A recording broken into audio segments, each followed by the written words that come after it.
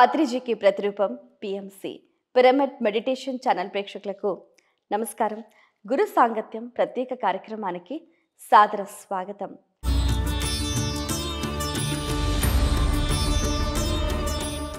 అఖండ మండలాకారం యాప్తం ఏన చరాచరం తత్పదం దర్శితం ఏన తస్మై శ్రీ గురువే నమ.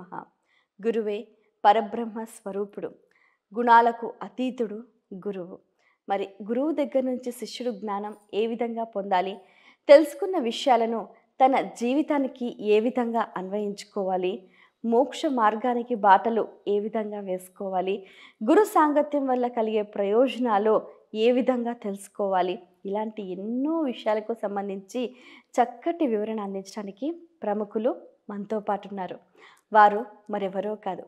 జాతీయ అంతర్జాతీయ స్థాయిలో వ్యక్తిత్వ వికాస నిపుణులుగా ప్రతి ఒక్కరికి కూడా జీవితం యొక్క విలువలను తెలియచేస్తూ వారి జీవితంలో వారి లక్ష్య సాధన దిశగా ఎటువంటి ప్రణాళికలు వేసుకోవాలో చాలా చక్కగా వివరించడమే కాకుండా వారి మాటల్లో ఒక స్పష్టత సూటిదనం చక్కదనం ఇవన్నీ కూడుకొని వారు రమణ మహర్షి గారిని ఆదర్శంగా తీసుకొని వారి జీవితంలో వారు తెలుసుకున్న విషయాలను నలుగురికి పంచే క్రమంలో అరుణాచలంలో రమణ డివైన్ లివింగ్ సెంటర్ అంటూ ఎంతోమందికి మార్గదర్శకులయ్యారు. మీ అందరికీ బాగా సుపరిచితులు అయిన సాగర్ సింధూరిగా మీ అందరికీ తెలిసిన సింధూరి విద్యాసాగర్ గారు. వారితో మాట్లాడి మరిన్ని విషయాలు వారి మాటలో తెలుసుకుందాం. ఈనాటి కార్యక్రమాన్ని ప్రారంభిద్దాం. నమస్కారం అండి. నమస్తే అమ్మా. గురువు గారు గురు సాంగత్యం యొక్క ప్రాముఖ్యత మీ మాటల్లో. ప్రేక్షకులందరికీ కూడా నా హృదయపూర్వక నమస్కారాలండి. ఈరోజు ఈ కార్యక్రమం ద్వారా నేను గురువు గురించి మాట్లాడడం అందులోనూ నాకు గురువు అయినటువంటి భగవాన్ శ్రీ రమణుల గురించి మాట్లాడడం నా యొక్క పూర్వజన్మ సుకృతంగా భావిస్తున్నాను. మీరు అడిగారు గురువు యొక్క సాంగత్యం యొక్క ప్రాముఖ్యత ఏమిటి అని. గురువు లేనిది జీవితం లేదు మొదట. తల్లిదండ్రులు జన్మనిస్తే గురువు జీవితాన్ని ఇస్తాడు విలువలతో కూడినటువంటి జీవితాన్ని ఇస్తాడు గురువు జీవితాన్ని ఏ విధంగా జీవించాలో నేర్పిస్తాడు అదేవిధంగా జీవితాన్ని ఎలా ముగించాలో కూడా నేర్పిస్తాడు. అంతేకాకుండా మరొక జన్మ లేకుండా కూడా చేయడానికి అది గురువుకు మాత్రమే సాధ్యమయ్యే పని. గురువు లేని మనుషులే కాదు ఆల్మోస్ట్ జంతువులు కూడా ఏమీ ఉండవు. జంతువులకు కూడా వాటి వాటి రూపాల్లో ఆ యొక్క వేటాడడం కానీ లేకపోతే తినడం కానీ నేర్పించే గురువులు ఉంటారు. గురువు లేకుండా మన జీవితం లేదు. ఇక్కడ ముందుగా ఆధ్యాత్మిక విషయానికి వస్తే మీరు ధ్యాన జ్ఞాన ప్రచారం చేయాలనుకుంటే లక్షలాది మంది ఆదరిస్తున్న పిఎంసి ఛానల్తో భాగస్వాములు కండి. The PMC trust Google Pay PhonePe number eight nine double seven double zero double nine three two. గురువు అనగానే మనకు ఆధ్యాత్మిక గురువు అనేది స్ఫురిస్తుంది. మొదట గురువు గురించి తెలుసుకుందాం. గురువు అంటే నిజంగా గురువు అంటే ఏంటి అని. అందరూ అనుకుంటున్నట్టుగా ఒక దేహాన్ని ఒక శరీరాన్ని మనం గురువుగా ఎంచుకొని వారిని ఆరాధిస్తూ వారు చెప్పినటువంటి మార్గాన్ని మనము సాధన చేస్తూ ఉంటాం. కానీ గురువు అంటే భగవంతుడు. సాక్షాత్తు భగవంతుడే తత్వజ్ఞానముగా గురువు యొక్క శరీరం నుంచి బయటకు వస్తాడు. ఉదాహరణకి ఏ గురువైనా సరే తా- తాత్విక జ్ఞానాన్ని ఆధ్యాత్మిక జ్ఞానాన్ని బోధించకపోతే కనుక అతన్ని మనం గురువు అనం. అంటే నిజానికి గురువు చెప్పే మాట మనల్ని చక్కదిద్దుతుంది. గురువు శరీరం కాదు. కాబట్టి గురువును మనం శరీరంగా భావించకుండా గురువు నుంచి వచ్చే భగవత్ జ్ఞానాన్ని తాత్విక జ్ఞానాన్ని మనం గురువుగా ఆశ్రయించాల్సి ఉంటుంది. ఎవరైతే ఏ గురువు అయితే శిష్యుణ్ణి కూడా భగవంతుడిగా మార్చగలరో వారే నిజమైనటువంటి గురువు. కాబట్టి గురువు యొక్క అటువంటి గురువు యొక్క సాంగత్యము దాని యొక్క గొప్పతనము ఏంటంటే మొదటగా ప్రతి ఒక్కళ్ళు కూడా గురువు యొక్క సాంగత్యాన్ని పొందడంలో సఫలీకృతులు కావాల్సి ఉంటుంది. అంటే ఆ గురువు సాంగత్యం అంటే అలా దగ్గర కూర్చొని ఉండడం కాదు. గురువు యొక్క ఆత్మకు నీ ఆత్మను అనుసంధానం చేయడమే గురువు యొక్క సాంగత్యం. ఉదాహరణకు భౌతికంగా ఫిజికల్గా నాకు ఏ గురువులు ఏ గురువు దగ్గర నేను నేర్చుకోలేదండి. ఏ గురువు నాకు బోధించలేదు. నాకు భౌతికపరమైనటువంటి గురువులు ఎవరు లేరు. స్వామి వివేకానంద యొక్క సాహిత్యాన్ని వారి యొక్క భావాలను బాగా చదివి చదివి పునికి పుచ్చుకుని ఆధ్యాత్మికత పైన మక్కువ పెంచుకుని అలా అన్వేషించుకుంటూ వచ్చాను. వారే నాకు నిజంగా చెప్పాలంటే ప్రప్రదమైనటువంటి గురువులు. ఎప్పుడైతే నేను భగవాన్ శ్రీ రమణులకు ఆసక్తి ఉన్నాయానో వారితో నేను ఆత్మతో వారి ఆత్మతో నేను అనుసంధానం కావడం జరిగింది. ఈ సంబంధం మా ఇద్దరికి మాత్రమే అర్థమవుతుంది. ఆయన భౌతికంగా నేరుగా కూర్చుని నాకేం బోధించలేదు. నేను ఆయన దగ్గరికి వెళ్ళలేదు. ఆయన ఎప్పుడో పంతొమ్మిది వందల యాభైలోనే మరి దేహాన్ని వదిలేశారు. ఇక్కడ గురువు సాంగత్యం అంటే ఆ గురువుతో మానసికమైనటువంటి అనుసంధానాన్ని ఏర్పరచుకోవడం అతి ముఖ్యమైనటువంటి విషయం. ఎప్పుడైతే గురువు శరీరంతో శరీరం ఉన్నా లేకపోయినా ఆ గురువుతో మానసికంగా మనం మెంటల్గా కనెక్ట్ అవుతామో ఆయన నుంచి అదృశ్య రూపంలో మనకు ఆ నాలెడ్జ్ అనేది డౌన్లోడ్ అవుతూ ఉంటుంది. ఎలా? మీరు ఎప్పుడైనా సరే ఒక గురువును పరమ పూజ్యులుగా నా జీవితానికి యా నా యావత్ జీవితానికి మరణ పర్యంతము కూడా మీరే నా గురువుని సర్వస్య శరణాగతి ద టోటల్ సరెండరింగ్ అయినప్పుడు ఆయన్ని మన జీవిత జీవితంగా ఎంచుకున్నప్పుడు తప్పకుండా వారితో మనకు ఒక మానసిక అనుసంధానం జరుగుతుంది. అలా జరిగినప్పుడు ఏదైనా సరే నిన్ను కలిచి వేస్తున్నటువంటి ప్రశ్న కానీ సమస్య కానీ నీకు సమాధానం కోసం సమాధానం దొరక్క నువ్వు బాధపడుతున్నప్పుడు వారిని స్మరించుకుంటూ వారి రూపాన్ని ఒక రెండు నిమిషాలు ధ్యానించుకుంటూ మీ ప్రశ్నను తెలియజేస్తే ఆ రోజు లోపల మీకు సమాధానం దొరుకుతుంది. అది మన బుద్ధిలోనే స్ఫురిస్తుంది. ముఖ్యంగా చెప్తారు గురువు యొక్క స్థానం ఎక్కడంటే బుద్ధి. అందుకే మనము బుద్ధికి ప్రతిరూపంగా బృహస్పతి అనే గురువుని చెప్పుకుంటూ ఉంటాం. అంటే గురువు ఎప్పుడు కూడా మన బుద్ధి ఎందు ఉంటాడు. మన బుద్ధి ఎందు సద్బుద్ధిని గదిలి కలిగిస్తూ సదాచారాన్ని కలిగిస్తూ ఏ నడకలో మనం నడిస్తే ఏ దారిలో నడిస్తే మనం సవ్యమైనటువంటి గమ్యాన్ని చేరుకోగలమో మన బుద్ధికి స్ఫురింపజేస్తూ ఉంటారు. అంటే గురువు యొక్క వర్క్ మొత్తం పని మొత్తం లోపల మొదలవుతూ ఉంటుంది. ఈ విధంగా మనము ఎప్పుడైతే మన గురువుతో ఆయన దేహంతో సంబంధం లేకుండా పూర్తిగా మమేకమై వారిని మన జీవితంగా చేసుకుంటామో మానసికంగా అనుసంధానం పొందుతామో తప్పకుండా వారి నుంచి నువ్వు తరించిపోగలిగినటువంటి మార్గము సదా నీకు నిర్దేశితమవుతూనే ఉంటుంది. గురువు అయితే భౌతికంగానే ఉండాల్సిన పని లేదు. మనము శరీరంతో లేని గురువులను కూడా మనం పూర్తిగా శరణాగతి పొందితే ఆయన మనల్ని నడిపిస్తారు. ఎందుకంటే ఈశ్వరో గురురాత్మేతి. ఈశ్వరుడే గురు రూపంలో మనల్ని నడిపిస్తాడు మన ఆత్మలో ఉండి. కాబట్టి గురువుతో ఆత్మానుసంధానం జరగడమే గురు సాంగత్యం అంటే. చాలా అద్భుతంగా వివరించారు. అసలు గురువు గురువు యొక్క నిర్వచనము చాలా అద్భుతంగా చెప్పారు. అంటే ఇప్పుడు లౌకిక ప్రపంచంలో ప్రతి ఒక్కరికి ముగ్గురు నలుగురు గురువులు ఉంటారు. అంటే విద్య నేర్పిన గురువులు మీరు అన్నట్టుగా ఆధ్యాత్మిక గురువులు వారు ఏదైనా ఒక రంగంలో నిష్ణాతులు అవుతే ఆ రంగానికి సంబంధించిన గురువులు అంటే వీరందరిలో ఎవరికి మనం ఎక్కువ ప్రాధాన్యత ఇవ్వాలి? అమ్మ ప్రాధాన్యత ఇవ్వడం కాదు. మనము ఏ స్థాయిలో ఉన్నప్పుడు ఏ గురువు మన దగ్గర ఉంటారో వారికే ప్రాధాన్యత ఇవ్వాలి. అంటే నువ్వు ఒకటో తరగతి చదువుకుంటున్నప్పుడు నీకు ఎవరైతే గురువు ఉంటారో వారే నీకు సమస్తము వారే నీకు పరమ గురువు. కానీ రెండో తరగతి వచ్చిన తర్వాత నాకు ఒకటో తరగతిలో బోధించిన గురువే రావాలంటే కుదరదు. రెండో తరగతి రెండో తరగతికి మరో గురువు మూడో తరగతికి మరో గురువు వస్తారు. ఈ విధంగా ఆధ్యాత్మికత ఆధ్యాత్మిక సాధనలో కూడా మనకు అనేక గురువులు తటస్థపడవచ్చు.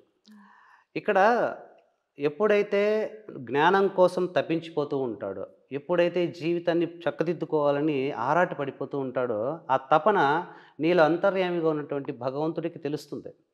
నీలో ఉన్న ఈశ్వరునికి తెలుస్తుంది. ఆ ఈశ్వరుడు ఏ సమయంలో నిన్ను ఏ గురువు దగ్గరికి పంపిస్తే వీడు తరించిపోతాడో సరిగ్గా ఆ సమయానికి ఆ గురువు దగ్గరికి చేరుస్తాడు. కాబట్టి ఒకటి కంటే ఎక్కువ గురువులు ఉండటం అనేది అది తప్పుపట్టాల్సిన విషయం కాదు ఉండాలి. ఒక్కొక్కసారి మన గురువులే కూడా మరొక గురువు దగ్గరికి పంపిస్తూ ఉంటారు. అవును. నేను పుట్టినప్పటి నుంచి షిరిడి సాయిబాబా ఆయ- ఆయన భక్తుడిని ఆయన ఆరాధి- ఆరాధించేవాడిని. ఆయన తప్ప నాకు ఇంక వేరే గురువు లేదు వేరే దైవం లేదు. నేను చివరిసారిగా షిరిడీకి వెళ్ళినప్పుడు అంతకు ముందంతా లౌకికపరమైనటువంటి కోరికలు కోరుకునేవాడిని. నాకు ఇల్లు కావాలి కారు కావాలి డబ్బు కావాలి అజ్ఞానము చేత. కానీ ఒక అశాంతి చేత ఏదో జీవితంలో అసంతృప్తి చేత చివరిసారి నేను షిరిడీకి వెళ్ళినప్పుడు పదమూడు సంవత్సరాల క్రితం ఆయన నేను ఒక్క కోరిక అడిగాను. నా జీవితానికి ఒక అర్థాన్ని చూపించండి ఒక అర్థవంతమైనటువంటి జీవితాన్ని నాకు మార్గం చూపించండి అని. అలా దండం పెట్టుకొని బయటికి రాగానే నాకు ఒక పెద్ద ఆవిడ ఒక చిన్న ఫోటో ఒకటి తర్వాత ఒక విభూది ప్యాకెట్ ఇచ్చింది. ఆ ఫోటోలో ఉన్నది ఎవరో నాకు తెలియదు నేను వారి గురువుకు గురించి ప్రచారం చేస్తున్నారేమో అనుకున్నాను. సరిగ్గా ఆరు నెలల తర్వాత నా షెల్ఫ్లో నుంచి అప్రయత్నంగా బుక్ ఒకటి తీస్తే ఆ బుక్ చదువుతున్నప్పుడు ఈ బుక్ చాలా గొప్పగా ఉంది. దీన్ని ఎవరు రాశారని చూస్తే భగవాన్ శ్రీ రమణ మహర్షుల వారి యొక్క బోధన అది ఆ బుక్ పైన ఆ ఫోటో చూడంగానే షిరిడీలో నాకు ఆ పెద్ద ఆవిడ ఇచ్చినటువంటి ఫోటో ఏందే అని నాకు స్ఫురించింది. అప్పుడు వెంటనే అనుకున్నాను షిరిడి సాయిబాబా నాకు ఏదో సంకేతం ఇచ్చారు ఈ గురువు గురించిని. మరి అప్పుడు ఆయన భగవాన్ శ్రీ రమణుల పేరు నా హృదయంలో ముద్రపడింది. తర్వాత నేను వారి సమక్షంలోకి ఇక్కడికి రావడం జరిగింది. కాబట్టి మన గురువులు అప్పుడప్పుడు కూడా వేరొక గురువు దగ్గరికి అవసరమైతే శిష్యుని పంపిస్తూ ఉంటాడు కొత్తవి నేర్చుకోవడానికి. కాబట్టి ఎక్కువ గురువులు ఉండడం తప్పైనటువంటి విషయం కాదు. కానీ ఆత్మ గురువు ఉంటారు ఒకరు. ఏ గురువు చెంతన నిలుచుకుంటే నీ యావత్ జీవితంలోని ప్రశ్నలకు సమాధానం దొరుకుతుందో నీకు పరిపూర్ణమైనటువంటి శాంతి లభిస్తుందో మరి నువ్వు ప్రపంచంలో భార్యతోనూ భర్తతోనూ తల్లిదండ్రులతోనూ స్నేహితులతోనూ కూడా చెప్పుకోలేని విషయాలు ఏవైతే నువ్వు వారి ముందు చెప్పుకోగలుగుతావో నీకు సాంత్వన కలుగుతుందో ఎవరి దగ్గర నీ ప్రతి ప్రశ్నకు సమాధానం దొరుకుతుందో ఎవరి దగ్గర నీకు శాంతి దొరుకుతుందో ఎవరి కళ్ళు చూస్తే తన్మయత్వం చెందుతావో వారు నీ జీవితకాలం గురువు నీ జీవితానికి గురువు. వారు నీ జీవితానికి అపాయింట్ చే- భగవంతుని చేత ప్రసాదించబడినటువంటి గురువు. ఎటువంటి గురువు తప్పకుండా మనకు లభిస్తారు. ఒక్కొక్క గురువు నుంచి నేర్చుకుంటూ పోయినప్పుడు మన యొక్క అంతిమ గురువును మనం చేరుకుంటాం. అన్ని దానాల కన్నా జ్ఞానదానం మిన్న పిఎంసి నిరంతర మహాజ్ఞాన యజ్ఞానికి మీ వంతు సహకారం అందించండి. The PMC trust Google Pay PhonePe number eight nine double seven double zero double nine three two సరే గురుగారు ఈ ఆత్మజ్ఞానం అంటారు కదా ఇది ఎక్కడ లభిస్తుంది ఎలా లభిస్తుంది? ప్రస్తుతం ఈ ట్రెండ్లో ఈ ఫాస్ట్ ట్రెండ్లో అనేక రకాల యోగాలు అనేక రకాల ఆధ్యాత్మిక సాధనలు ప్రపంచం మొత్తం నడుస్తున్నాయి. కానీ ఆత్మ జ్ఞానం అన్న పదం మాత్రం అరుణాచలంలోని భగవాన్ శ్రీ రమణ మహర్షుల దగ్ వారి దగ్గర కాకుండా మరెక్కడా కూడా మీకు అటువంటి సాధన మీకు కనిపించదు. ప్రపంచంలో మీరు ఎక్కడైనా తిరగండి ఏ క్షేత్రానికి ఏ గురువు దగ్గరికైనా వెళ్ళండి రకరకాల ఆధ్యాత్మిక సాధనలు నేర్చుకుంటారేమో కానీ కానీ సూటిగా నేరుగా అత్యంత స్పష్టంగా అత్యంత సులభంగా ఆత్మజ్ఞానాన్ని తెలుసుకోగలిగినటువంటి మార్గం అరుణాచలానికే రావాల్సి ఉంటుంది. కాబట్టి ఆధ్యాత్మిక అన్వేషి ఆత్మ జిజ్ఞాసు ఎవరైనా సరే నేను ఆత్మజ్ఞానాన్ని పొందాలన్న కోరిక ఉంటే మాత్రం దయచేసి అనేక అనేక క్షేత్రాలు స్థలాలు తిరగడం మానేసి నేరుగా తిరు తిరువణామలై అంటే అరుణాచలానికి వస్తే భగవాన్ శ్రీ రమణుల యొక్క సమాధి దగ్గర మరి శరణాగతి పొందితే తప్పకుండా వారికి ఆత్మజ్ఞానం పొందగలిగినటువంటి అవకాశం లభిస్తుంది. మీరు కూడా అన్ని ప్లేసెస్ వదిలేసి అంటే చాలా మీరు అన్నట్టుగా ఈ ప్లేస్లో ఈ అరుణాచలంలో మీరు ఒక ఆశ్రమాన్ని ఏర్పాటు చేసుకొని డివైన్ లివింగ్ సెంటర్ అంటూ కూడా ఎంతోమందికి జ్ఞానాన్ని అందిస్తున్నారు. మీకు ఇక్కడ సెంటర్ పెట్టాలి ఇలా ఆశ్రమం ఏర్పరచుకోవాలి అన్న ఆలోచన ఎలా కలిగింది? నాకు ఇక్కడ సెంటర్ పెట్టాలి ఆశ్రమాలు పెట్టాలి అన్నటువంటి ఆలోచన అసలు లేదమ్మా. నేను ఇక్కడికి ఎలా వచ్చానంటే యాక్సిడెంటల్గా వచ్చాను నేను.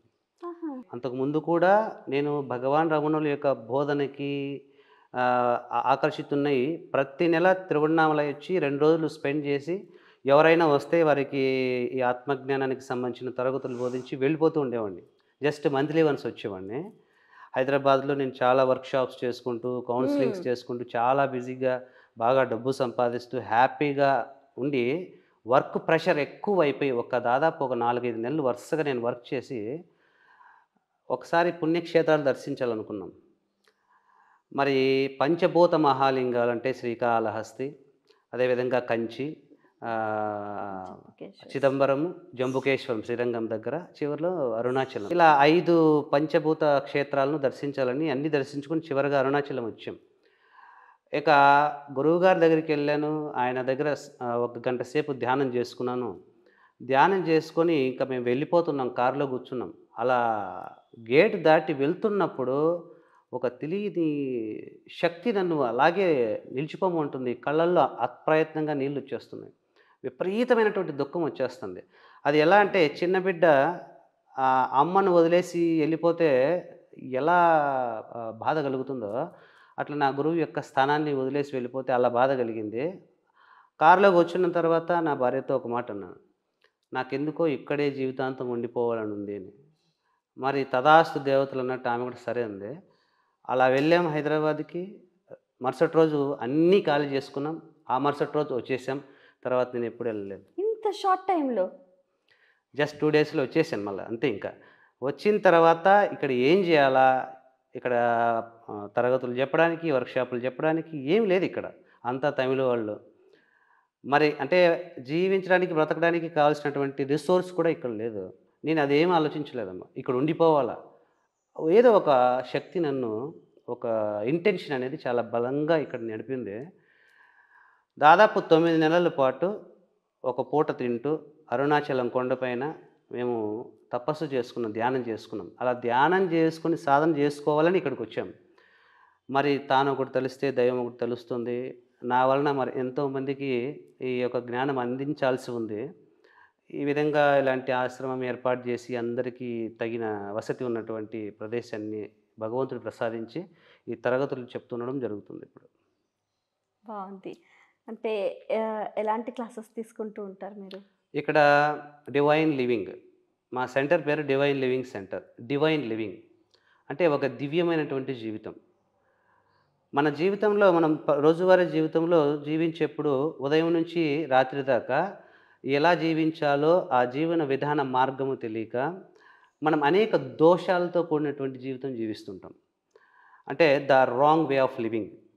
అలా కాకుండా ఏ విధమైనటువంటి నాలెడ్జ్తో జీవిస్తే ఏ విధమైనటువంటి యాటిట్యూడ్తో ఏ విధమైనటువంటి బుద్ధితో జీవిస్తే కనుక మన మన జీవితం ఎప్పుడూ నిత్య సంతోషంగా ఆయురారోగ్య ఐశ్వర్యాలతో కూడా వెలుసులుతూ అదేవిధంగా మోక్ష మార్గం వైపు నడుస్తుందో అలాంటి దివ్యమైనటువంటి జీవితాన్ని భగవద్గీత ప్రామాణికంగా మరియు మన గురుదేవుల యొక్క వారి బోధన నుంచి తీసుకొని కొన్ని అంశాలని ఇక్కడ బోధించడం జరుగుతుంది. ముఖ్యంగా రెండు విషయాలు. భగవద్గీతలో కర్మ గురించి ధ్యా ధర్మం గురించి తర్వాత భగవాన్ రమణ మనుషుల యొక్క నేను ఎవరో తెలుసుకో అన్నటువంటి సెల్ఫ్ ఎంక్వైరీ. ఆత్మజ్ఞానానికి సంబంధించిన తరగతులు ఇక్కడ జరుగుతాయి. ఓకే. ఇదే నేను పది సంవత్సరాల నుంచి నేను కంటిన్యూస్గా చేస్తూనే ఉన్నాను. ఇప్పటికీ వేలాది మందికి ఈ యొక్క ఆత్మజ్ఞాన తరగతులను నేను చేయడమే కాకుండా అనేక ఊర్లలో పట్టణాల్లో కూడా పిరమిడ్ వాళ్ళే చాలా నాకు అరేంజ్ చేశారు క్లాసెస్. వారికి ఇటువంటి ఆత్మజ్ఞానం తరగతులను చెప్పడం జరిగింది. సాగర్ సుందరి గారు మీరు అరుణాచలం వచ్చారు. The divine living centre. అసలు ఎంతో మందికి కూడా ఎలా బతకాలో కూడా చెప్తున్నారు. అసలు దాని గురించి వివరిస్తారా? అరుణాచలంలో రెండు పనులు చాలా ప్రధానమైనటువంటి విషయాలు. ఇక్కడ అన్నదానం జ్ఞానదానం.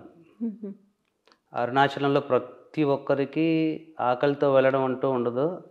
ఎక్కడ చూసినా గిరి ప్రదక్షిణ చుట్టూ ఆలయాల దగ్గర ప్రసాదము భోజనము తప్పకుండా దొరుకుతుంది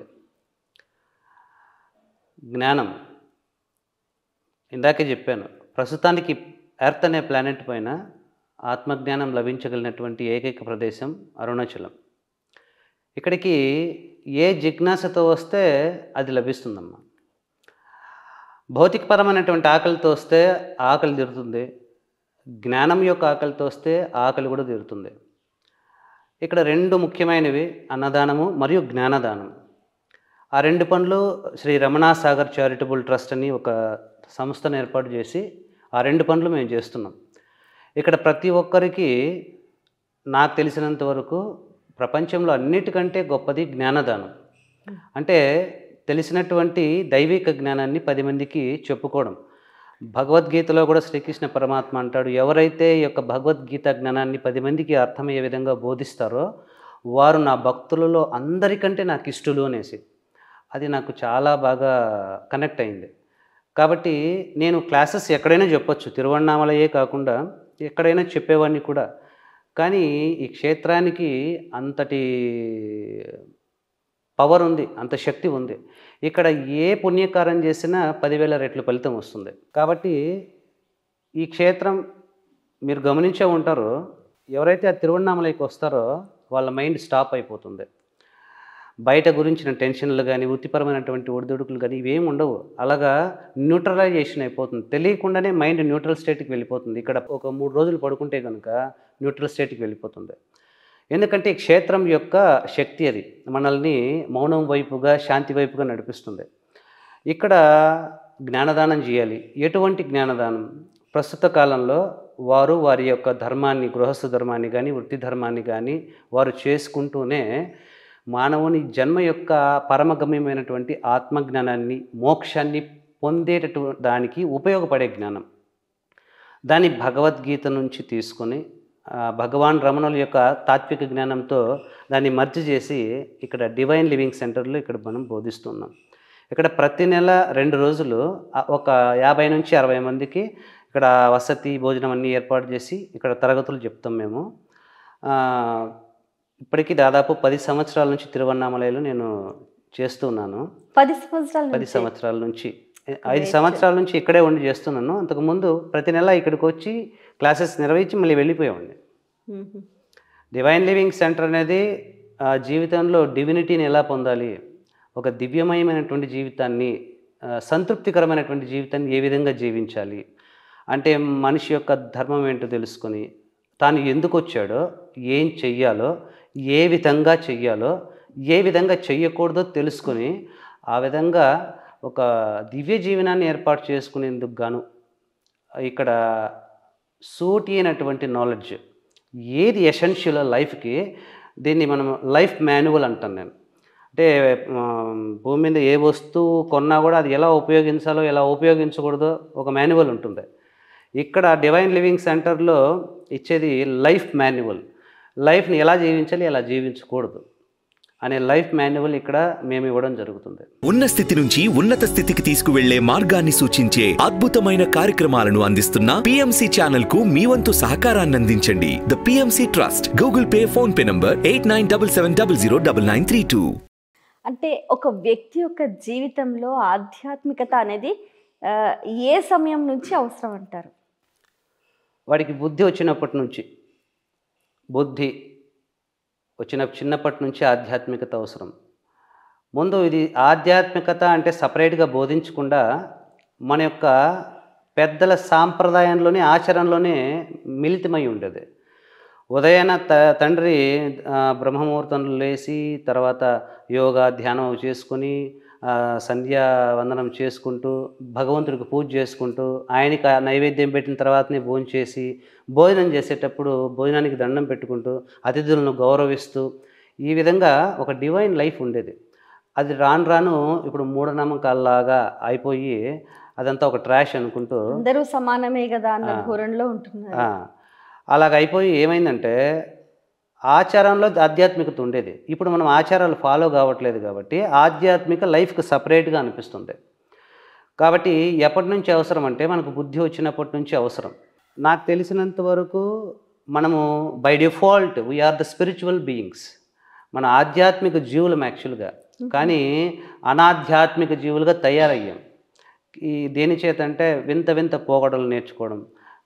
మనకు మన యొక్క హైందవ ధర్మం ఏం చెప్పిందో మన భారతదేశంలో ఎటువంటి ధర్మం బోధించబడిందో అది కాకుండా అనేక అనేక ప్రమాణం లేనటువంటి విషయాలన్నీ పాటిస్తూ మన లైఫ్ను మనం చెడగొట్టుకున్నాం.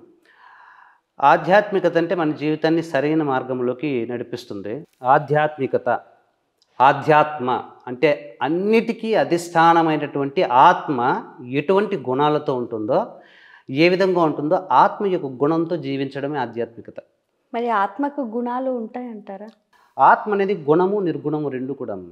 అసలైన ఆధ్యాత్మికతకు నిర్వచనం. ఆధ్యాత్మికత అంటేనే అసలైందమ్మా. ఇంకేవి అసలైనవి కదా అన్నీ నకిలీవే ఆధ్యాత్మిక జీవితం అంటే చిన్న ఎగ్జాంపుల్ చెప్తాను.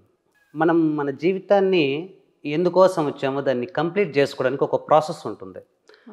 ప్రపంచంలో ఏం జరగాలన్నా కూడా దానికి ఒక ప్రాసెస్ ఉంటుంది.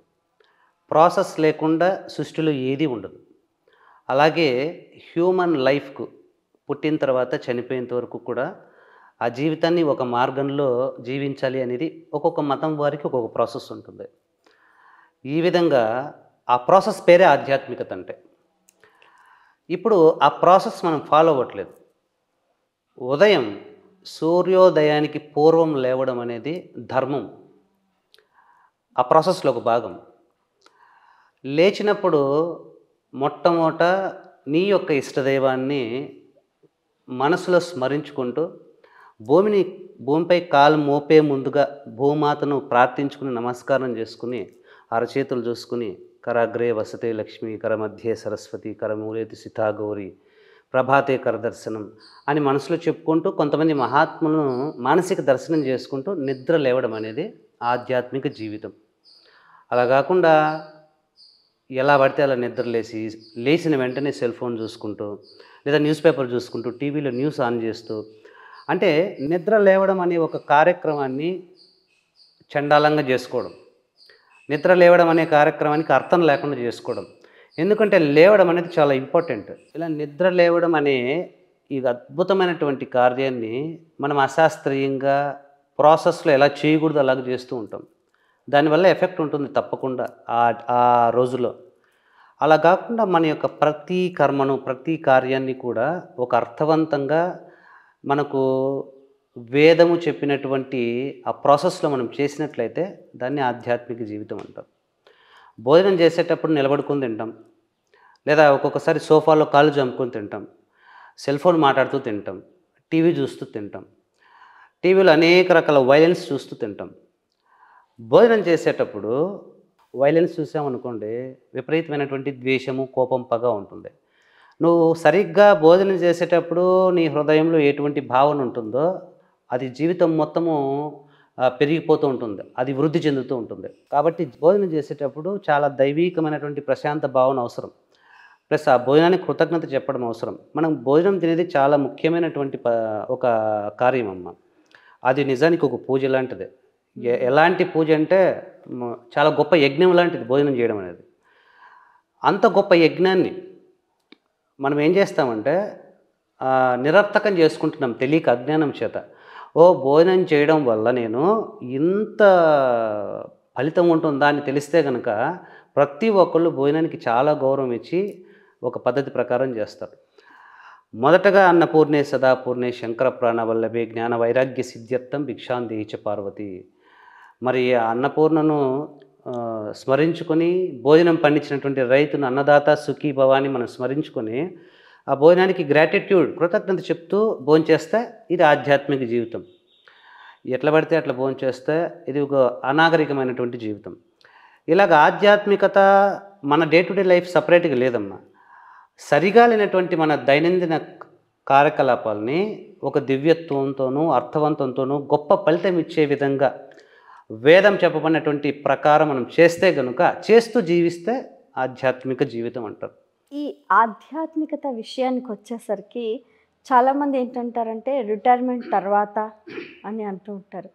సరైనదేనంటారా మొదట ఈ లోకంలో ఒక భయానకమైనటువంటి విషయం ఏంటంటే నేను ఇంకా చాలా కాలం జీవిస్తాను అని ప్రతి ఒక్కళ్ళు అనుకుంటూ ఉంటారు. ఇంకా చాలా కాలం జీవిస్తాను నేను నిండు నిండు నూరేళ్ళు జీవిస్తానని ప్రతి క్షణము వాళ్ళ లైఫ్ పైన చాలా గ్యారంటీగా ఉంటారు. మన ఈ మధ్య మా నాన్నగారు ఈ నెల ఆరో తేదీనే చనిపోయారు. మాతో పాటు వచ్చి ఇక్కడ అన్నదానం చేశారు మాతో కూర్చొని భోంచేశారు ఎవరో గెస్ట్లు వచ్చి వారికి నేను కాశీలో మరణం గురించి చెప్తున్నాను.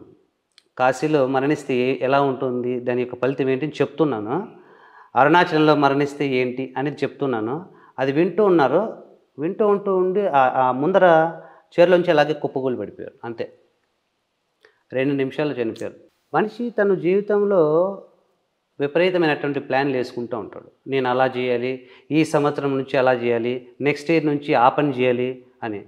కానీ అతి భయంకరమైనటువంటి అజ్ఞానం ఏంటంటే there is no tomorrow there is no tomorrow ధర్మరాజును ఒక ప్రశ్న అడిగినప్పుడు అన్నిటికంటే మనిషికి సమీపంలో ఉండేది ఏది? అన్నిటికంటే దగ్గర ఉండేది. ఏది అన్నప్పుడు మృత్యువు అని సమాధానం చెప్తాడు. మరి ఆ మృత్యువు వచ్చేలోపే ఈ దేహంతో ఏం చేస్తే మళ్ళీ ఈ దేహం రాకుండా ఉంటుందో అది చేయాల్సి ఉంటుంది.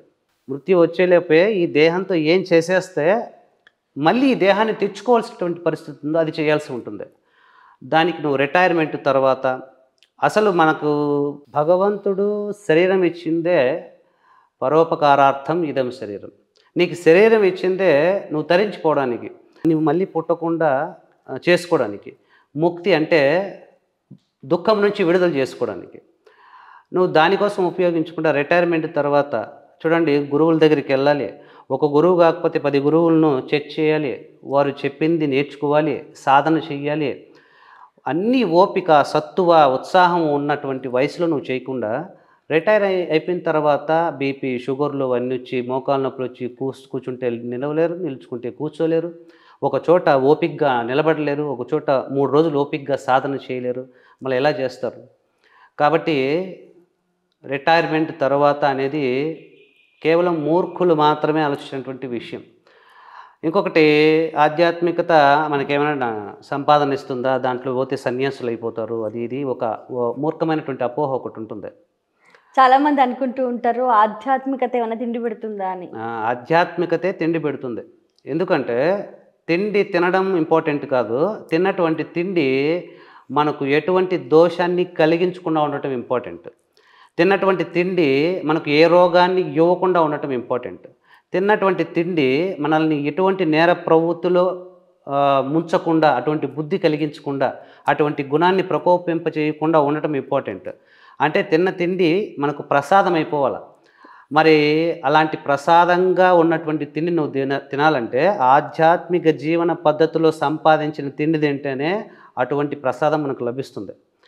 మరి ధర్మం లేకుండా భగవంతుడి గురించి తెలుసుకోకుండా ఈ యొక్క విశ్వం యొక్క రహస్యాల గురించి తెలుసుకోకుండా ఒక నీతి నియమం గురించి తెలుసుకోకుండా ఇష్టం వచ్చినట్లు మనము డబ్బు సంపాదించేసుకుని మన స్వార్థం కోసం తింటూ ఉంటే ఆ తిండి మనల్ని అనేక నేరాలు చేయడానికి ఘోరమైనటువంటి జీవితాలను జీవించడానికి ప్ర అది పనిచేస్తుంది కాబట్టి ఆధ్యాత్మిక తిండి పెడుతుంది. ఎటువంటి తిండిని అంటే దోషం లేనటువంటి తిండిని.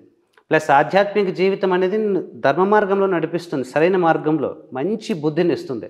కాబట్టి అది గొప్పది గొప్పది మంచి జీవితాన్ని కూడా ఇస్తుంది కూడా తప్పకుండా. ఇప్పుడు మీరు అన్నట్టు తీసుకుంటే మీ ఆధ్యాత్మిక బోధకులందరూ అడుక్కు తింటూ ఉండాలి.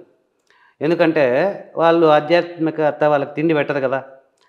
కానీ ప్రస్తుతానికి మీరు గమనించినట్లయితే లోకంలో ఆధ్యాత్మికతను బోధించే వాళ్ళే చాలా గొప్పగా ఉన్నారు ఐశ్వర్యంలో కానీ కీర్తిలో కానీ వాళ్ళే ముందు స్థానంలో ఉన్నారు. మీరు ధ్యాన జ్ఞాన ప్రచారం చేయాలనుకుంటే లక్షలాది మంది ఆదరిస్తున్న పిఎంసి ఛానల్తో భాగస్వాములు కండి. The PMC trust. Google Pay PhonePe number eight nine double seven double zero double nine three two గురువుగారు మీరు రమణ మహర్షి గారి పట్ల ఏ సందర్భంలో బాగా ఆకర్షితులయ్యారు? నాకు ఒక కళ వచ్చిందమ్మా. పన్నెండు సంవత్సరాల ముందు ఒక మామూలు కళ ఒక నార్మల్గా. నేను మా మా ఇల్లు కడుతున్నాము దానికి గోడకు నీళ్ళు పడుతూ ఉన్నాను పైప్తో. ఆ రోజు పడుకున్నాను ఆ కళ వచ్చింది. రెండో రోజు అదే కళ వచ్చింది. రెండో రోజు? రెండో రోజు. నాకు కొంచెం ఆశ్చర్యంగా అనిపించింది. మూడో రోజు అదే కళ వచ్చింది. థర్డ్ డే కూడా? మూడు రోజులు అదే కళ వచ్చింది. అప్పుడు మూడు రోజులు ఎలా వస్తుంది? ఒకే రకమైనటువంటి కళ అని కళల గురించి ఎక్కువ ఆసక్తి కలిగింది. అలా కళల గురించి స్టడీ చేస్తున్నప్పుడు అసలు కళలు ఈ కలర్లో బ్లాక్ అండ్ ఇలా ఎలా కనిపిస్తాయి? కళలు ఎలా తయారవుతాయి? ఎవరు డైరెక్ట్ చేస్తారో? అని కొంచెం లోతుగా చేయడం జరిగింది. నాకు సంబంధించిన ప్రతి ఒక్కరిని అడిగాను మన కళ ఎలా కనిపిస్తుంది అని. మన కళలు ఎందుకు వస్తాయని ఎవ్వరూ నాకు సరైనటువంటి సమాధానం చెప్పలేదు. అంతేకాకుండా ఆత్మ అంటే ఏంటి? ఆత్మలో తిరుగుతూ ఉంటాయి అంటారు. శరీరంలో ఆత్మ ఉందంటారు. ఈ ఇదంతా ఈ గోల్ ఏంటి? ఇదంతా చాలా చాలా అనేక ప్రశ్నలు ఉన్నాయి. మరి ఈ కళ గురించిన ప్రశ్నలు అందరినీ అడిగి నేను చిరాకు పెట్టిస్తున్నాను. ఒక అతను మాత్రం చెప్పాడు నాకు తెలిసిన అతను ఈ ప్రశ్నకు భగవాన్ శ్రీ రమణులు మాత్రమే సమాధానం చెప్తారు. నువ్వు అక్కడికి వెళ్ళు అన్నారు. ఆయన ఉన్నారని అడిగితే ఆయన లేరు బట్ ఆయన సమాధి ఉంది. అక్కడికి వెళ్ళి నీకు సమాధానం దొరుకుతుంది. నేను తర్వాత తిరువన్నామలైకి వచ్చాను. భగవాన్ రమణుల యొక్క ఆశ్రమాన్ని దర్శించాను. ఏదో రెండు నిమిషాలు ధ్యానం చేసుకున్నాను.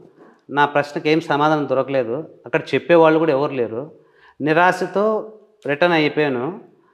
పోయే ముందు ఒక పుస్తకం కొనుక్కున్నాను. భగవాన్ రమణులది నీ సహజ స్థితిలో ఉండు అనే పుస్తకం. అది కొనుక్కొని బస్సులో కూర్చొని ఇంటికి వెళ్ళేలో మొత్తం చదివేశాను. చిన్నప్పటి నుంచి పుట్టినప్పటి నుంచి నాకు ఎన్ని డౌట్స్ ఉన్నాయో అన్నీ క్లారిఫై అయిపోయాయి. అంతవరకు నేను ఇంటికి వెళ్ళి చేసిన మొదటి పని ఏంటంటే అన్ని సంవత్సరాలు పూజించిన షిరిడి సాయిబాబా విగ్రహాన్ని పక్కన పెట్టేసి ఈ ఫోటో ఉన్నటువంటి పుస్తకాన్ని అక్కడ పెట్టి అలాగ సాష్టాంగ పడిపోయాను మీరే ఇక నా జీవితానికి గురువులు. ఆ రోజు నుంచి ఈ రోజు వరకు ఇంకొక గురువు పేరు కూడా నా బుర్రలోకి రాలేదమ్మా. ఆయన నా యొక్క ప్రతి ప్రశ్నకు ఇక రాబోయే ప్రశ్నకు సమాధానం ఇస్తూనే ఉన్నారు. ఇంకొక అద్భుతమైన విషయం ఏంటంటే భగవాన్ రమణులు నాకు ఎలా బోధిస్తున్నారంటే చాలామంది ఇలాగ మీలాగా సభల్లోనూ క్లాసుల తరగతుల్లోనూ కొన్ని చాలా వింత వింత క్వశ్చన్లు అడుగుతారు. చాలా క్రిటికల్ క్వశ్చన్లు అడుగుతుంటారు. నాకు తెలియనివి కూడా అడుగుతుంటారు. ఆశ్చర్యం ఏంటంటే ఇంతవరకు ఎవరు అడిగిన క్వశ్చన్కు నేను సమాధానం చెప్పకుండా ఉండలేదు. నాకు తెలియకపోయినా చెప్పాను. వాళ్ళు అడిగిన క్వశ్చన్ నాకు తెలియకపోయినా చెప్పేస్తాను. చెప్పేసిన తర్వాత నేను నేర్చుకుంటాను. ఇలాగా నేను నేను బోధిస్తు బోధించిన తర్వాత నేర్చుకున్నదే ఎక్కువ ఉంది. చాలా మంది నేర్చుకొని చెప్తారు. మీరు చెప్పేసి నేను చెప్పేసి నేర్చుకున్నాను. అది చాలా జరిగాయి అలాగా. అంతేందుకు ఇప్పుడు ఆత్మశక్తి రహస్యాలు నాకు ఒక పుస్తకం ఉంది.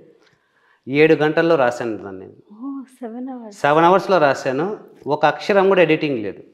డైరెక్ట్గా ప్రింట్ చేయించాం. సూపర్. అందులో ఉన్న విషయాలన్నీ నాకు తెలియనివే తెలియనివే రాశాను నేను. రాసిన తర్వాత చదివి నేను ఇవన్నీ నేను రాశానని నేర్చుకున్నాను. చెప్పాను గురువుతో మానసికంగా అనుసంధానం అయితే నాలెడ్జ్ డౌన్లోడ్ అవుతుందని. గురుగారు అసలు రమణ మహర్షి గారి తత్వం ఏం చెప్తుందండి? సత్యం చెబుతుంది. అసలు తత్వం అంటేనే తత్వం అంటే స్వభావం దేని యొక్క స్వభావం అంటే సత్యం యొక్క స్వభావం. అంటే మనకు లోకంలో సత్య వస్తువు ఏది అనే దాని గురించి ఉంటుంది. అంటే సరైనటువంటి జ్ఞానం ఏదో అదే అది మాత్రమే చెప్తుంది. ఆయన బోధన మాత్రం ఒక్కటే ఒక బోధన చేశారమ్మా. నువ్వెవరో నువ్వు తెలుసుకో నీకు సమస్తము అవగతం అవుతుంది తర్వాత. నీ కర్తవ్యం ఏంటో నీకు బోధపడుతుంది. నువ్వు ఎలా ఏం చెయ్యాలో నీకు అర్థమవుతుంది. కోహం అని మనకు వేదంలోంచి ఉపనిషత్తుల్లోంచి ఒక పద్ధతి ఉంటుంది. అంటే నేను ఎవరుని ప్రశ్నించుకోవడం. నేను ఈ శరీరాన్న ఇందులో ఉన్న ప్రాణాన్న మనస్సున బుద్ధిన ఇలా ప్రశ్నించుకుంటూ ఆత్మ ఆత్మ అంటే నేను అని అర్థం. ఆత్మ అనేది ఒక సంస్కృత పదం. దాన్ని తెలుగులో ట్రాన్స్లేట్ చేస్తే నేను. నేను ఎవరో తెలుసుకో అంటే ఆత్మ అంటే ఏంటో తెలుసుకో అని అర్థం. ఆత్మ అంటే ఏంటో తెలుసుకోవడమే ఆత్మ గురించిన జ్ఞానం. ఆత్మ గురించిన జ్ఞానమే ఆత్మ జ్ఞానం సంగీతం గురించిన జ్ఞానం సంగీత జ్ఞానం. దృశ్యం గురించిన జ్ఞానం దృశ్య జ్ఞానం. శబ్దం గురించిన జ్ఞానం శబ్ద జ్ఞానం. ఆత్మ గురించినటువంటి అంటే నీ గురించినటువంటి జ్ఞానం. నేను సాగర్ సింధూరిని అనుకొని జీవించేస్తూ ఉంటాను. కానీ పుట్టుకతోనే నేను సాగర్ సింధూరిగా పుట్టలేదు. కొన్ని రోజుల తర్వాత నాకు పేరు పెట్టారు. ఈ మధ్యలో నేను ఎవరిని పేరు పెట్టకముందు నేను ఎవరిని నేను ఎక్కడి నుంచి వచ్చాను మా అమ్మ కడుపులోకి? కడుపులోకి రాకముందు ఎక్కడున్నాను నేను? నేను ఈ బాడీలోంచి బయటికి వెళ్ళిపోయిన తర్వాత మరణించిన తర్వాత ఎక్కడికి పోతాను? ఈ విషయాలు తెలుసుకోవాల్సి ఉంటుంది. ఈ విషయాలు తెలుసుకుంటేనే అంటే నువ్వు ఎక్కడి నుంచి వచ్చావో ఎక్కడికి వెళ్ళబోతావో తెలుసుకుంటేనే ఈ జన్మలో నువ్వు ప్రతిరోజు ప్రతి క్షణము ఏ విధంగా ఏం చేయాలో నీకు అర్థమవుతుంది. ఇక్కడ అందరూ ఎలాగోలాగా ఎలాగోలాగా ఏదేదో చేసేయడం ఇంపార్టెంట్ కాదు. ప్రతిదీ కూడా పరమ సంతృప్తితో పరమ సంతోషంతో ఉండగలిగేటట్టు చేయడం ఇంపార్టెంట్ భూమి మీద అందరూ సంతోషంగా ఉండటానికే కదా చేస్తున్నారు. కోట్లాది ప్రజలంతా కూడా సంతోషంగా ఉండటానికే చేస్తున్నారు కానీ ఎవరు సంతోషంగా లేరు. కారణం ఏంటంటే వాళ్ళు ఏం తెలుసుకుంటే సదా సంతోషంగా ఉండవచ్చునో అది మాత్రం తెలుసుకోకుండా ఏం చేసినా కూడా ఇంకా ఇంకా ఎక్కువ బాధపడేటట్టుగా చేసుకుంటున్నారు ఏం చేసినా ఏం సంపాదించినా ఏమి చేర్చుకున్న జీవితానికి ఇంకా ఎక్కువ బాధను అనుభవిస్తున్నారు తప్ప వాళ్ళు దేనికోసం ఈ ఆనందం కోసం చేస్తున్నారు అది మాత్రం పొందలేకపోతున్నారు. ఇది ఎప్పుడు నీకు లభిస్తుందంటే నీ దేహములోకి రానప్పుడు ఏ స్థితిలో ఉన్నావో ఆ స్థితిని నువ్వు తెలుసుకుంటేనే ఇది సాధ్యమవుతుంది. అసలు సదా ఆనందంగా ఉండటమే మోక్షం అంటే. మోక్షం అంటే ముక్తి అంటారు. ముక్తి అంటే విడుదల. విడుదల అంటే ఏంటి? దేని నుంచి విడుదల అంటే దుఃఖము నుంచి విడుదల. మరి ఏం తెలుసుకుంటే నిత్య జీవితంలో దుఃఖం నుంచి విడుదల అయిపోతుందో ఆ జ్ఞానాన్ని ఆయన మహానుభావులు చాలా సులభంగా ఆయన చెప్తారు నీళ్ళు తాగడం కంటే కూడా చాలా సులభం ఆత్మజ్ఞానం పొందడం అనేసి. అంత ఈజీ అంత ఈజీ అది ఈజీ కూడా సత్యం కూడా. మేము కూడా అదే చెప్తాం. నీళ్ళు తాగేదన్నా కొంచెం కష్టమేమో. ఆత్మను అర్థం చేసుకోవడం అంత సులభం ఎవరికంటే తపన ఉన్న వాళ్ళకి దాన్ని పట్టుకోగలుగుతారు కాబట్టి ఆత్మజ్ఞానం లేకుండా జీవించే జీవితం మొత్తం బ్రతుకుంటారు దాన్ని. కేవలం సర్వైవల్. కానీ ఆత్మజ్ఞానం పొందిన రోజు నుంచి మనం నిజంగా జీవించడం ప్రారంభిస్తాం. మరి ఆత్మజ్ఞానాన్ని ఈ సృష్టిలోనే ఇంకెవరో బోధించినంత సులభంగా అత్యంత సులభంగా నేను ఎవరో తెలుసుకో అన్నటువంటి బోధన ద్వారా ఆత్మవిచారణ పద్ధతిని ఆయన బోధించారు. ఈ బుద్ధ ప్రపంచంలో అందరికీ కూడా అందరినీ కూడా ఆత్మజ్ఞానులుగా ఆయన ఆయన లేకపోయినా కూడా ఆయన ఆయన యొక్క అంశ అనేది శక్తి అనేది ఇక్కడ పనిచేస్తూ ఉంటుంది. అది అందరినీ కూడా ఆత్మజ్ఞానులుగా తయారు చేస్తుంది. మనం గమనిస్తే కూడా రమణ మహర్షి గారు ఆల్ టైం మౌనంలోనే ఉన్నారు. మరి వారు ఎప్పుడు ఎవరికి ఎలా చెప్పారు ఏం చెప్పారు? ఆయన దాదాపు ప పదిహేడు సంవత్సరాలు మౌనంగా ఉన్నారు. గుహల్లో తపస్సు చేసుకుంటూ ఆయన పేరే మౌనస్వామి. అందరూ ఆయన మౌనస్వామిని పిలిచేవాళ్ళు. ఎప్పుడూ మౌనమే ఆయన. మౌనం అంటే ఆయన దృష్టిలో ఏంటంటే మాట్లాడ మాట్లాడకుండా ఉండటం అని కాదు. మౌనం అంటే ఆలోచనలు లేకుండా ఉండటం. ఆయన చాలా రోజులు మౌనంగా ఉండి ఆ యొక్క ఆత్మసిద్ధిలో ఉండి అలా ఉండి ఉండి ఇక కేవలం భగవత్ కృప చేత మ్మ్.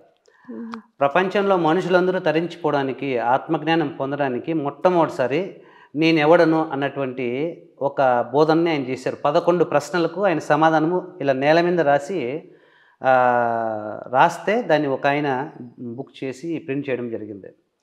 ఆయన మొట్టమొదటి చేసిన బోధన అదే నేను ఎవడను. మొట్టమొదటి బోధన నేను ఎవను హూ యామై ఓకే. దాంట్లో మీకు బాగా ఇన్స్పిరేషన్ కలిగించిన ప్రశ్న? నేను ఎవరని నేను అది తెలుసుకున్నప్పటి నుంచి నా లైఫ్ చేంజ్ అయిపోయింది. ఎలా చేంజ్ అయిపోయిందంటే నాకు తెలిసి నేను చేస్తున్న పనిలో నాకంటే ఆనందంగా ప్రపంచంలో మరెవరూ లేరేమో అన్నట్లుగా ఉంటుంది. కాబట్టి ఆ ఒక్క క్వశ్చన్కి ఆన్సర్ తెలుసుకున్న తర్వాత నాకు జీవితం అంటే సమగ్రంగా అర్థమైంది. మరి ఎలా చేయాలో ఏం చేయాలో నాకు అర్థమైంది. చాలా సంతృప్తికరంగా ఉంది. అదొక్కటే. నాకు ఆయన నుంచి నచ్చింది ఆయన నుంచి నడిపిస్తున్నది కూడా ఆ యొక్క ప్రశ్నే. నీవెవరో అన్నది మీకు అర్థమైంది అర్థమైంది కాబట్టే పది సంవత్సరాల నుంచి నాకే కాదు ఇక్కడికి ఎవరు క్లాస్కి వచ్చినా కూడా ప్రతి ఒక్కళ్ళకి వారెవరో వారు మాటల ద్వారా కాకుండా ధ్యానంలో ఆత్మానుభూతిని తప్పకుండా పొంది వెళ్తారు. హండ్రెడ్ పర్సెంట్ ఆ యొక్క ఆత్మను ఆత్మ యొక్క జ్ఞానాన్ని అంటే ఎక్స్పీరియన్స్ని వాళ్ళు ఇక్కడ అనుభవం పొంది ఇక్కడ నుంచి వెళ్తారు. ఎందుకంటే నేను ఒక ఆత్మ ధ్యాన క్రియ అనబడే ఒక ధ్యాన పద్ధతిని నేను డెవలప్ చేయడం జరిగింది. అంటే సెల్ఫ్ ఎంక్వైరీ ద్వారా ధ్యానంలోకి వెళ్ళి సెల్ ఆత్మవిచారణ చేస్తూ ఆత్మానుభూతి పొందడం ఎలా అనే ఒక గైడెడ్ మెడిటేషన్ని ఆ మెడిటేషన్ చేస్తే మీరు కూడా పది నిమిషాల్లో ఆత్మజ్ఞానాన్ని ఆత్మానుభూతిని పొంది తీరుతారు.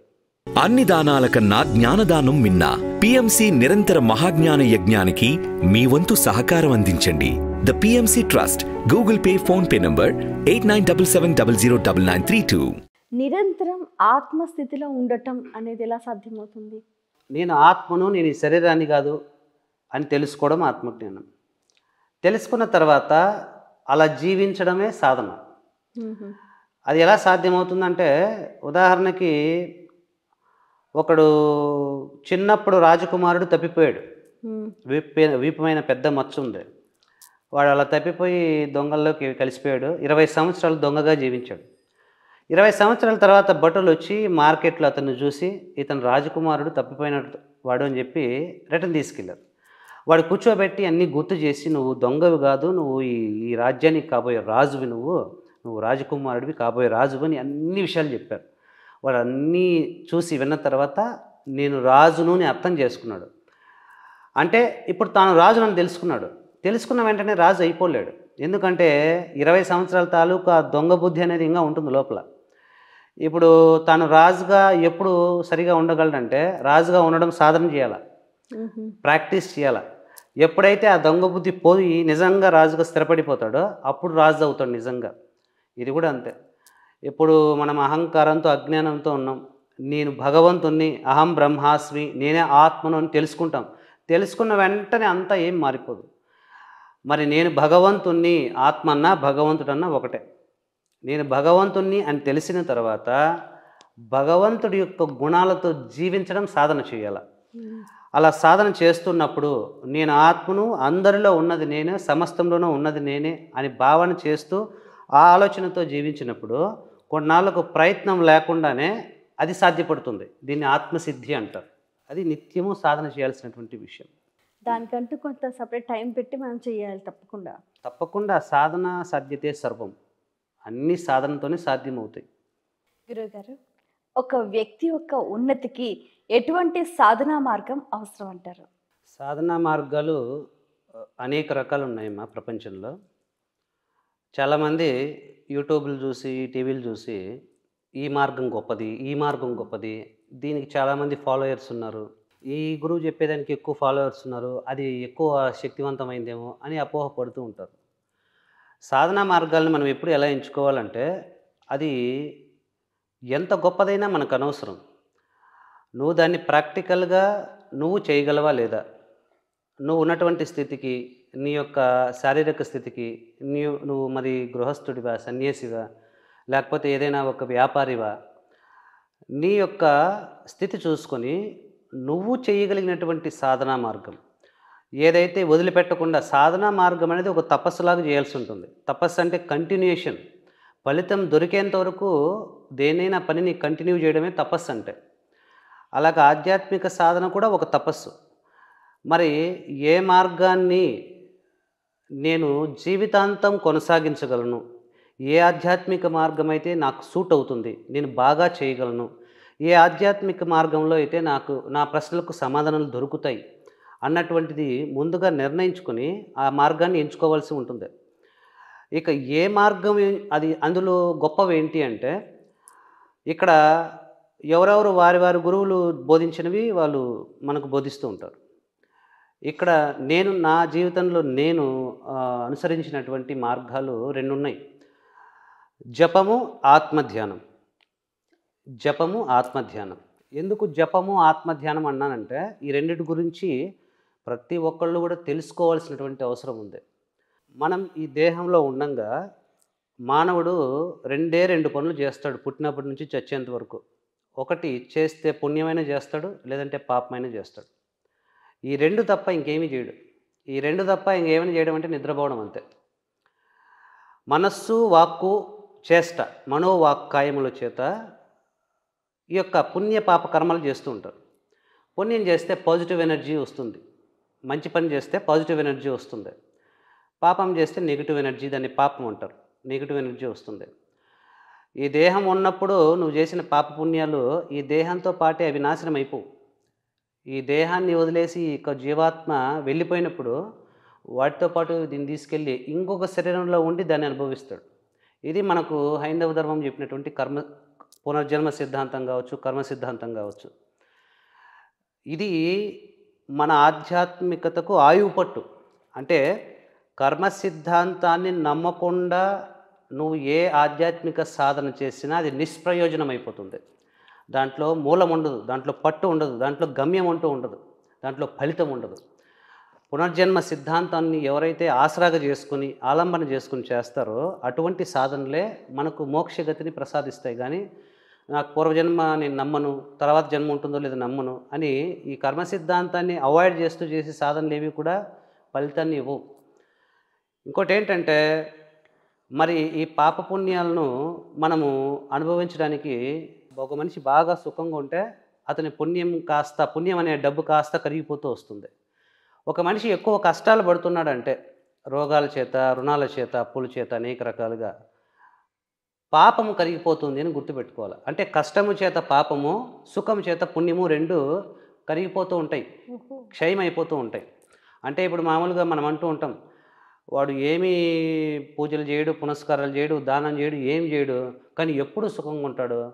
నేనైతే నిరంతరం పూజలు చేస్తాను ధనధర్మాలు చేస్తాను నాకు ఎప్పుడు కష్టాలే అంటుంటారు. అటువంటి వాళ్ళంతా గుర్తుపెట్టుకోవాల్సింది ఏంటంటే ఇప్పుడు బాగా సుఖాలు అనుభవించేవాడు వాని అకౌంట్లో ఉన్నటువంటి ఆ పుణ్యం అనే డబ్బు కాస్త కరిగిపోతూ ఉంటుంది. ఇక ఇంకా వాడు అనుభవించే పోయేది పాపము అంటే కష్టం మాత్రమే. అలా కాకుండా మొదట్లోనే కష్టాలు అనుభవించే వాళ్ళు అర్థం చేసుకోవాలా? వాళ్ళు నెగిటివ్ ఎనర్జీ ఖర్చు అయిపోతుంది ఇంకా రాబోయేదంతా మంచి కాలమే. రాబోయేది అనుభవించబోయేదంతా పుణ్యమే జీవితంలో అనేది అండర్స్టాండ్ చేసుకోవాలా. మరి ఈ పాపపుణ్యాలను మనము పూర్తిగా క్షయం చేసి జీరో చేసేసుకోవడమే ఆధ్యాత్మికత యొక్క పరమ లక్ష్యం అప్పుడే దాన్ని మోక్షం అంటాం జన్మరాహిత్యం అంటాం. అంటే పుణ్యము పాపం అకౌంట్ క్లోజ్ చేసుకోవడం. మరి ఇలా చేసుకోవాలంటే అత్యంత వేగవంతమైనటువంటి ప్రక్రియ ధ్యానం. ధ్యానం కంటే ఇంకా శ్రేష్టమైనది. అంటే ఇంకా ఎవర్ లాస్ట్ ఎవర్ గ్రీన్ అన్నమాట. లోకంలోనే the high end spiritual practice అనేది ఆత్మధ్యానం అంటే నిన్ను నువ్వు ధ్యానించుకోవడం ఆత్మను ధ్యానించడం. మామూలుగా మనం చేసే ధ్యాసలో పిరమిడ్ ఛానల్ వాళ్ళు బోధించే దాంట్లో పత్రిజీ గారు బోధించిన ఆనాపానసతి శ్వాస మీద ధ్యాసతో ధ్యానం చేస్తాం. అంటే ఇక్కడ ధ్యేయ వస్తువు శ్వాస. మరి ధ్యానం చేయలేని వాళ్ళు ఆత్మధ్యానం చేయలేని వాళ్ళకు నెక్స్ట్ అందరికీ సులభమైనటువంటి మార్గం ఏంటంటే జపం. ఈ జపము ఈ కలికాలంలో చాలా అద్భుతమైనటువంటి ఫలితాన్ని ఇస్తుంది. జపతో నాస్తి మహాపాతకం అంటారు. అంటే ఎక్కడ ఇంకోటి భగవద్గీతలో కూడా యజ్ఞానం జప యజ్ఞోస్మిన్ అంటాడు. అంటే ఎక్కడ జపం జరుగుతుందో జపయజ్ఞం జరుగుతుందో నేను అందులో అక్కడే ఉంటాను. ఎవడు జపం చేస్తే నేను వాడిలో ఉంటాను అని భగవాన్ శ్రీకృష్ణ పరమాత్మ చెప్పడం జరిగింది. కాబట్టి ఇక్కడ మేము మూడు సాధనలు ఇస్తాం. ఒకటి జపం తర్వాత ధ్యానం తర్వాత ఆత్మధ్యానం. ఆత్మజ్ఞానం. ఇక జప సాధనలో వారికి నచ్చినటువంటి ఇష్టదైవం యొక్క నామాన్ని ఎలా జపం చేయాలి జపమాలను ఎలా ఉపయోగించాలి? ముందుగా నేను అందరికీ సజెస్ట్ చేసేది ఏంటంటే ధ్యానం కంటే ముందుగా ఒక ఆరు నెలల పాటు జప సాధన చేయాలి. ఎందుకు ఇలా చేయాలి అంటే చాలామంది ధ్యానము అన్నిటికంటే గొప్పది నిస్సందేహమైనటువంటి విషయం. కానీ ధ్యానంలో కూర్చోవడానికి నీ కర్మఫలం నిన్ను అనుమతించాల. నెగిటివ్ ఎనర్జీ ఉంటుందండి మనకి. ఈ నెగిటివ్ ఎనర్జీ నిన్ను గుడికి పోనివ్వదు. ఒక పవిత్ర కార్యం చేయనివ్వదు. నువ్వు ఒక మంచి పని చేద్దామంటే నీకు అనుకూలంగా జరగదు అది. నువ్వు పుణ్యక్షేత్రానికి వెళ్దామంటే అనేక రకాల అడ్డంకులు వస్తాయి. ధ్యానానికి కూర్చుంటే నిద్ర వస్తుంది. ధ్యానం సరిగా కుదరదు. ఇలాంటి అడ్డంకులను సృష్టిస్తూ ఉంటుంది నీ యొక్క రుణాత్మక శక్తి. మొదట నీ చైతన్యమును అంటే నీ ఎనర్జీని నువ్వు క్లీన్ చేసుకున్నదే ఎంత గొప్ప ఆధ్యాత్మిక సాధనలోకి అడుగు పెట్టలేము. కాబట్టి మొదట నీ యొక్క శక్తిని మలినమైపోయినటువంటి నీ శక్తిని నెగిటివ్ ఎనర్జీని నెగిటివ్ ఆరాన్ని మనము క్లెన్జింగ్ చేసుకోవాలంటే ప్రక్షాళన చేసుకోవాలంటే జపము ఒక్కటే మార్గం. ఒక జపమాల పట్టుకొని శ్రీరామ మంత్రాన్నో పంచాక్షరిను అమ్మవారి మన్ నామాన్నో నామాన్ని కానీ గురువు ద్వారా తీసుకున్నటువంటి మంత్రాన్ని కానీ కొన్ని లక్షల సార్లు గురువు చెప్పినటువంటి కౌంట్ ఉంటుంది. ఆ కౌంట్ ప్రకారం ఎవరైతే చేసి కంప్లీట్ చేస్తారో వాళ్ళని జపయజ్ఞం పూర్తి చేశారు అంటారు. ఇలా జపం చేస్తే మొదట నీ చైతన్యము శుద్ధి జరిగిపోతుంది. తర్వాత నువ్వు నువ్వు నడి బస్టాండ్లో కూర్చున్నా కూడా జనసందోహంలో కూర్చున్నా కూడా నువ్వు సమాధి స్థితిలోకి వెళ్ళగలిగినటువంటి ధ్యాన స్థితి ఏర్పడుతుంది. కాబట్టి హై ఎండ్ ప్రాక్టీస్లోకి మనం వెళ్ళాలంటే ముందుగా జప సాధన ఇంపార్టెంట్. కాబట్టి ముందుగా జపము ధ్యానము జ్ఞానము. ఇది మూడు సాధనా మార్గాలు. ఈ మూడు కూడా మేము రెండు రోజుల్లో ఇక్కడ బోధించడం జరుగుతుంది. ఓకే. అయితే ఇప్పుడు ఇందాక మీరు చెప్పారు ఆత్మ సాధన ఆత్మ ధ్యానము అని. ఈ ఆత్మ ధ్యానం అంటే ఎలా అంటే ధ్యానం చేసేటప్పుడు ఆత్మ గురించి ఆలోచించడమా? అవును. మనము ధ్యానం చేసేటప్పుడు శ్వాస మీద కానీ మంత్రము పైన కానీ లేదా ఏదో ఒక భగవంతుని రూపం పైన కానీ జ్యోతి పైన కానీ ధారణ చేస్తాం. అంటే ఒక ధ్యేయ వస్తువు పైన ఫోకస్ చేస్తే దాన్ని గమనిస్తూ ఉంటే దాన్ని మనం ధ్యానం మనం ధారణ అంటాం. ఈ ధారణ పరిపక్వం అవుతుంది. అంటే డీపర్ స్టేట్కి వెళ్తుంది. ధారణ డీపర్ స్టేట్కి వెళ్ళినప్పుడు ధ్యాన స్థితి ప్రారంభమవుతుంది. ధ్యాన స్థితి అంటే నిశ్చల స్థితి అంటే ఆలోచన రహిత స్థితి ఏర్పడుతుంది. ఎప్పుడైతే ఆలోచన రహిత స్థితి ఏర్పడుతుందో అక్కడ ఒకే ఒక ఆలోచన రావాల్సి ఉంటుంది. అది నేను ఎవరిని? ఎక్కడ ధ్యానం మొదలవుతుందో అంటే ధ్యానం యొక్క పీక్ స్టేజ్లోకి వెళ్ళినప్పుడు నువ్వు ఆత్మ విచారణ ప్రారంభించాల్సి ఉంటుంది.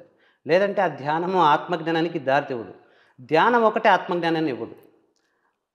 Meditation alone won't give the self realisation ధ్యానంలో నువ్వు ఆత్మ విచారణ ప్రారంభించాలి. భగవాన్ రమణులు బోధించింది అదే నిశ్చల స్థితిలోకి మనసు మనో నిశ్చలత కలిగినప్పుడు ఆత్మ విచారణ చెయ్యి. ధ్యానిస్తున్నది ఎవడు? వాడు ఎలా ఉన్నాడు? ఎక్కడి నుంచి వచ్చాడు? ఈ ప్రశ్నలు వేసుకో అని చెప్పడం జరిగింది. ప్రతి ధ్యానం యొక్క లక్ష్యం ఏంటంటే ఆత్మానుభూతి పొందడం. అంటే కూర్చున్న ప్రతి సెట్టింగ్లోనూ నువ్వు ఆత్మానుభూతి పొందితే అది ధ్యానం కంప్లీట్ అవుతుంది.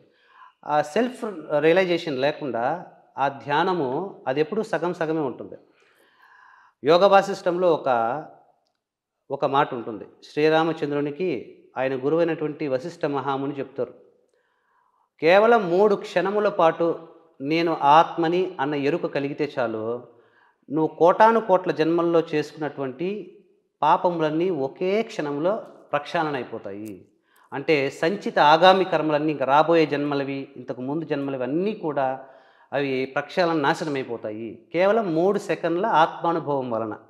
మరి ప్రతి ఒక్కళ్ళు కూడా ఆ మూడు సెకండ్ల ఆత్మానుభూతి తప్పకుండా పొంది తీరుతారు. ఎప్పుడంటే మరి ఆయన చూపించినటువంటి నేను ఎవరు అన్నటువంటి ఆత్మ విచారణ పద్ధతిని అవలంబించినప్పుడు. మీరు ధ్యాన జ్ఞాన ప్రచారం చేయాలనుకుంటే లక్షలాది మంది ఆదరిస్తున్న పిఎంసి ఛానల్తో భాగస్వాములు కండి the PMC trust Google Pay PhonePe number eight nine double seven double zero double nine three two. ఈ నేను ఎవరు అన్నది తెలుసుకునే క్రమంలో ఆటంకాలు ఎదురవుతూ ఉంటాయి. నేను నేనే కదా నేను తోపు అంటే నేను నేనే మాస్టర్ నేనే దేవుడు అన్న భావన చాలా మందిలో ఉంటుంది కదా. ఈ నేను ఎవరు అన్న భావన అహంకారానికి దారి తీయకుండా ఉండాలంటే? అసలు మొదట అహంకారం అంటే ఏంటో తెలుసుకోవాలమ్మా. నేను శృతిని అన్న గుర్తింపు మీకు ఉంటుంది నేను శృతిని నేను ఇలాంటి దాన్ని అని గుర్తింపు ఉంటుంది. నిన్ను నువ్వు ఏమని గుర్తించుకుంటున్నావో నాకు శృతి అని ఉండదు. నాకు సాగర్ సింధురిని గుర్తింపు ఉంటుంది ఐడెంటిఫికేషన్ ఉంటుంది. నిన్ను నువ్వు ఏమని ఐడెంటిఫై చేస్తావో దాన్ని అహంకారం అంటారు. అహంకారం అంటే పొగరని కాదు. నిన్ను నువ్వు ఏమని ఐడెంటిఫై చేస్తావో దాన్ని అహంకారం అంటారు. ఈ అహంకారాన్ని పోగొట్టుకోవడమే ఆత్మజ్ఞానాన్ని పొందడం అంటే. ఆత్మజ్ఞానాన్ని పొందిన తర్వాత అహంకారం అనేది ఇంకా ఇంకా చాయిస్ ఉండదు ఇంకా. కాబట్టి అహంకారం అంటే నేను ఫలానా అని గుర్తింపు. ఈ గుర్తింపును పోగొట్టుకోవడమే ఆత్మను పొందడము లేదా సత్యాన్ని పొందడం అంటే. గురుగారు మనం ఏది సంపాదించుకోవాలి ఏది దాచిపెట్టుకోవాలి ఏది ఖర్చు పెట్టాలి? మనం సంపాదించుకోవాల్సింది ఆత్మజ్ఞానం. మనము ఖర్చు పెట్టాల్సింది ధర్మ పరిరక్షణ కోసం. నీ నాలెడ్జ్ ఖర్చు పెట్టు. నీ దగ్గర డబ్బు ఉంటే డబ్బు ఖర్చు పెట్టు.